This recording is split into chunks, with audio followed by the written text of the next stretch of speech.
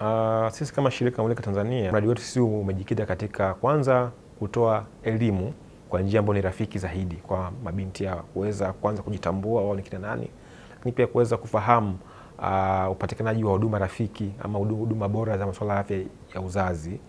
lakini pia tunatengeneza vipeperushi mbalimbali na jumbe mbalimbali kwa njia za mitandao ya kijamii kuweza kuwafikia kuwapa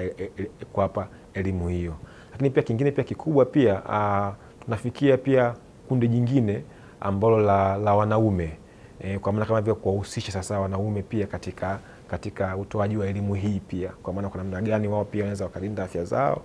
na, na kadhalika, lakini pia, lakini pia la msingi pia ambao tunalifanya pia tunafanya tunasema, tunasema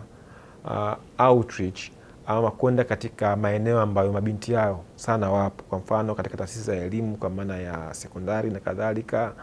sehemu pia za michezo ambazo pia baadhi, baadhi yao wengi pia wanakwenda kwa maana kuwafikishia elimu sahihi ya kuhusu kujikinga na kupambana na virusi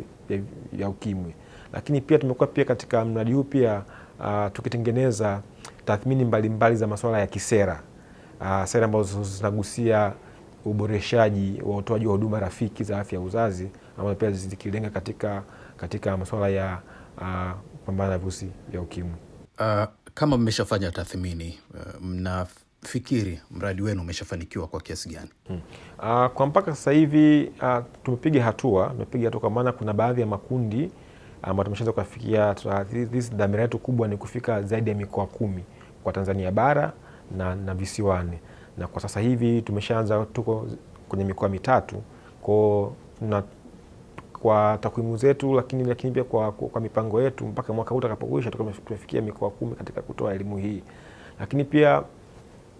uh, mafanikio makubwa ambayo tumeweza pia kuyapata katika mradi huu pia ni kuhamasisha ushiriki wa mashirika mengine katika mradi huu, kwa sababu hizi ajenda si ajenda pia ya shirika moja, ni ajenda za kitaifa. Kwa hiyo tumeweza pia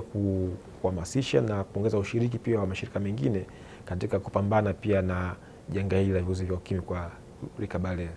Na kwa kumalizia, mnapata ushirikiano wowote kutoka katika mashirika ya Umoja wa Mataifa? Uh, uzuri pia tunapata ushirikiano mkubwa katika mashirika ya Umoja wa Mataifa, tukianzia na shirika la idadi ya watu duniani ama UNFPA. Wamekuwa wakitusaidia katika upande wa, wa, wa kutupa Uh, ripoti mbalimbali zenye kuelezea hali halisi ya changamoto ambayo ilipo, lakini pia uh, kutupa njia mbalimbali ambazo zinaweza kuzifanya na zikafanikiwa katika mataifa mengine ambayo wao wanafanya kazi. Na kwa sisi kuangalia kuna mbinu gani tukazitumia katika, katika taifa letu, lakini pia kwa maana pia ya rasilimali uh, fedha katika baadhi pia ya, ya baadhi ya, ya utekelezaji imekuwa pia ikitupa nguvu, lakini pia sio tu shirika hilo, pia na mashirika pia mengine pia ya Umoja Mataifa kama mashirika ya UNAIDS, uh, UNICEF